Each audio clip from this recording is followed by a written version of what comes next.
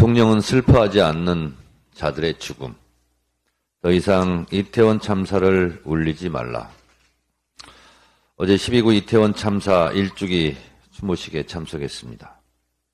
아들이 심폐소생 장면과 싸늘한 죽음이 된 영상을 본 심정을 절규하며 울부짖는 어머니의 통곡을 들었습니다. 세월호 유가족의 치유되지 않은 슬픔의 연대사도 치떨리며 들었습니다. 얼마나 살고 싶었을까? 얼마나 무섭고 두려웠을까? 트라우마로 스스로 목숨을 끊은 세월호 고 김관홍 잠수사는 아이들이 서로 부둥켜 안고 있어서 손을 풀기도 떼어내기도 어려웠다고 했습니다. 엄마 아빠 보러 가야지 라고 말했을 때 아이들은 스스로 손을 풀었다고 증언했습니다. 아이들의 손톱이 새카맣게 죽어 있었다고 말했습니다. 얼마나 살려고 발버둥 쳤을까? 얼마나 살려고 움켜졌을까? 이태원 참사도 세월호 참사도 지금까지 밝혀진 사실은 역설적이게도 아무것도 진실이 밝혀지지 않았고 책임자는 처벌되지 않았으며 재발방지책은 가동되지 않고 있고 안전한 대한민국이 아니다라는 사실입니다.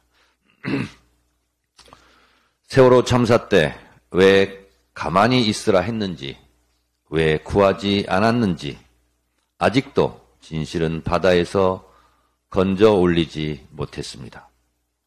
이태원 참사 때 왜 혼잡 경비를 하지 않았는지, 왜 기동대는 투입하지 않았는지, 마약 수사와 이태원 참사의 방치와는 무슨 관계가 있는지 밝혀지지 않았습니다. 국가는 어디에 있었고 국가는 왜 존재합니까? 세월호 참사 때나 이태원 참사 때나 대통령들의 유체 이탈 화법도 비슷하고 책임자 처벌과 특별법에 매우 소극적이고 무책임한 태도도 꼭 닮았습니다.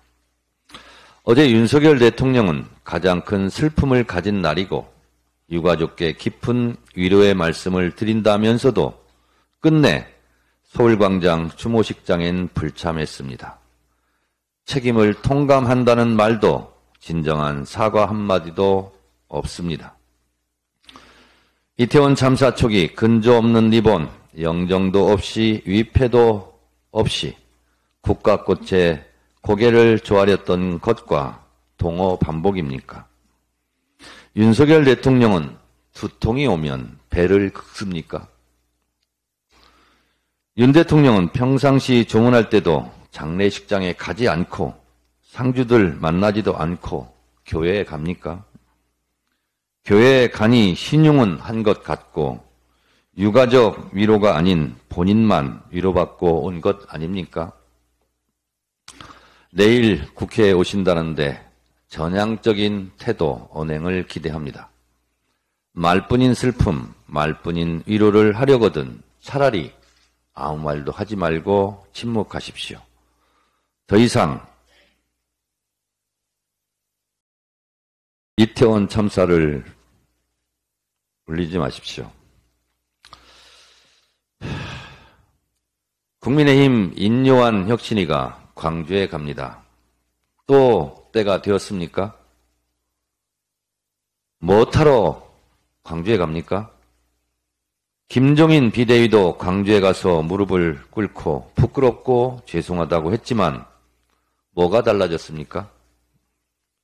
윤석열 후보는 전두환이 군사 구태타와 5.18만 빼면 정치는 잘했다고 전두환을 옹호하고 칭송하고 문제가 되자 개사과를 하고 국민의힘은 끊임없이 광주 5.18을 폄훼하기를 반복했습니다. 이제 지겹습니다. 5.18은 선거 때만 되면 찾아가는 꿀단지가 아닙니다. 더 이상 광주를 우롱하고 조롱하지 마십시오.